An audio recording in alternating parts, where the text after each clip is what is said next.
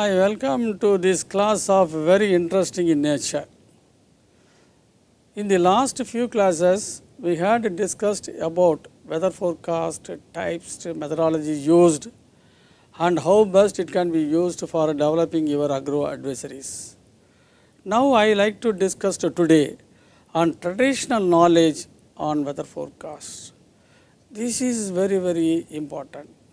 When you give important on scientific weather forecast for preparing your agro advisory, we have our own developed information over generations are available that also could be used effectively along with weather forecast to prepare your uh, agro advisories. What I like to say is you mix this traditional um, knowledge with the scientific weather forecast and develop your agro advisory. That is my request. Thereby, the preciousness of the agro advisory getting improved. So, we like to see something on that. Why this is a very, very important traditional knowledge. I have given that observation over generations, so many generations. One generation means scientifically 25 years, over generations you have count it. So, one observation is seen by the so many generations means it is true, it is getting repeated, it has got lesser coefficient of variations. Many how scientifically valid can be considered as a tool along with scientific weather forecast for taking farm decision. This is the final output we anticipate from the traditional knowledge. In the case of the traditional knowledge, like uh, in the science weather forecast, short range, medium range and long range, here also we could see people have already did excellent work on this aspect in our villages. So, I like to say something on the short range indigenous traditional knowledge. There will be heavy rainfall if the rainbow appears on the eastern sky at the time of raining. If it is on the western sky, there will be no rain. Maybe location specific, maybe state specific, may be country specific, but this information can be utilized for the concerned location or concerned state or concerned country. This is the uh, important I like to offer. When the crab comes to the bund, it may rain because it comes out of the hole thinking that stimulating uh, it has a stimulus that rain is going to come, it is going to fill its uh, holes or their holes. So, it is coming out. So, rain will come. Red clouds in the east sky, it may rain in the next day, short range, 24 hours. What we have studied in the short range, scientific weather forecast, it is going to rain. Frogs croaking in chorus, not single, chorus. Too many frogs. A squad of frogs, they croak. Then it followed by rain. When dragonflies fly down, it may rain. That there will be rainfall within a day. Too. See, it is a short range forecast. Already you have short range weather forecast received from the institution. They say that tomorrow you may get rain. Immediately you refer the indigenous knowledge collected for the particular area and develop, uh, try to confirm. So, definitely tomorrow the rain will come. So, it is a supporting tool to take your uh, weather forecast for preparing your agro advisories. So, uh, again there are many short range uh, informations increased mosquito bite predicts rain. This is true. When water stagnation is there, it gets multiplied, then so many mosquitoes come out and it bites. It says that rain is going to come or has come. So, anticipating that uh, the mosquito, uh, this information is developed. Dense fog in the early morning indicates no rain. Fog means a suspension of water droplets in the atmosphere, especially above the ground level. That means that already abundant moisture is available at the ground level, hence no rain is anticipated. See, these informations after uh, many observation made by many people over generations.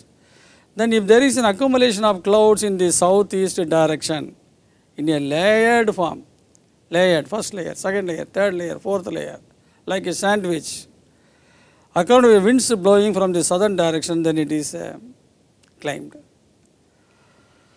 So, if there is a swelling on the lower portion of the camel's leg, this is uh, true for Rajasthan area, then rainfall is predicted by the farmers. The swelling are probably caused due to higher relative humidity. See how RH is uh, related to the rainfall that we have discussed earlier in our last lessons. So, likewise, you try to collect short range indigenous knowledge from your local area and try to uh, practice yourself for predicting your uh, weather also in addition to getting the information of a scientific weather forecast.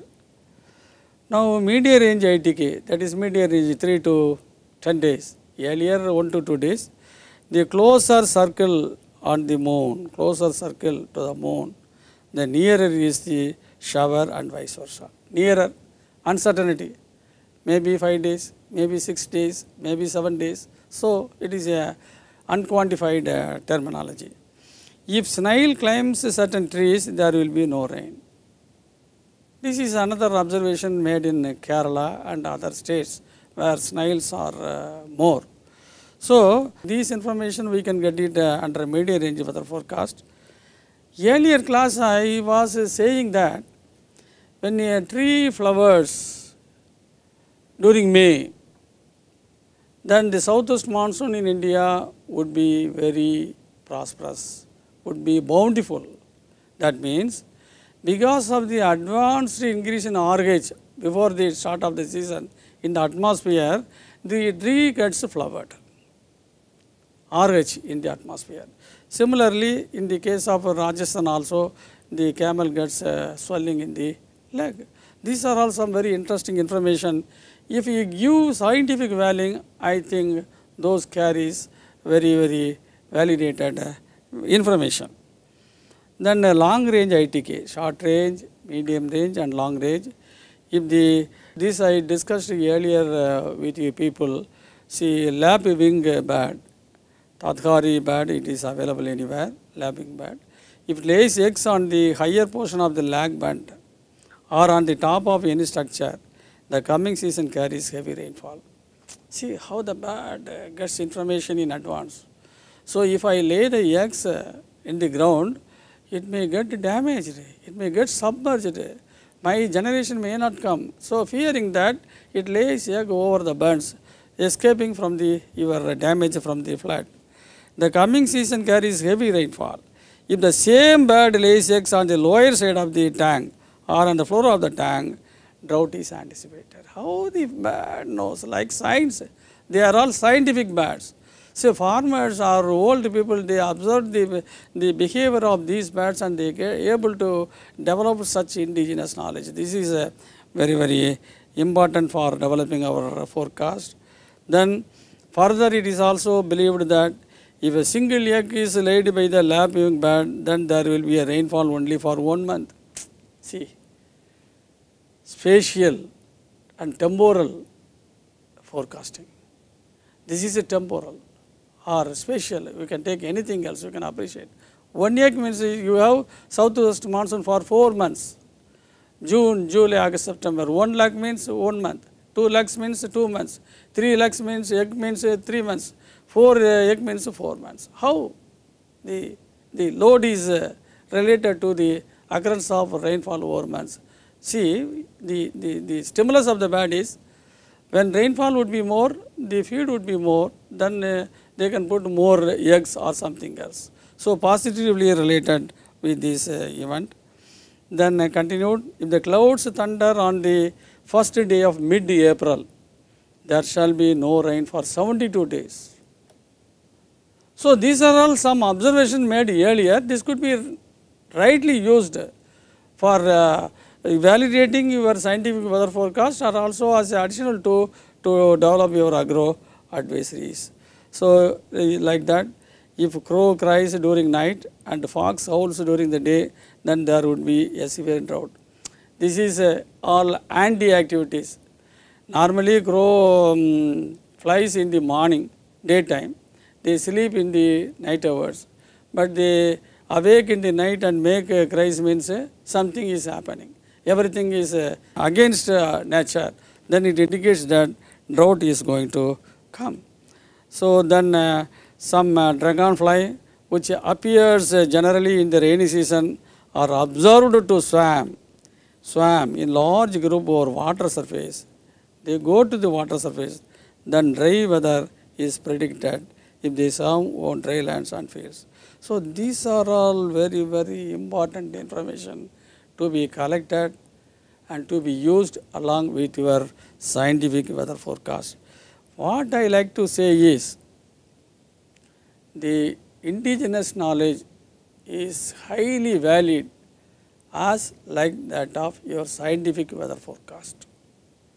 So you develop your agro advisory based on these two, then your agro advisory will be highly useful to the farming community. With this I close this uh, class. Let us continue something wonderful in the next class. Thank you very much.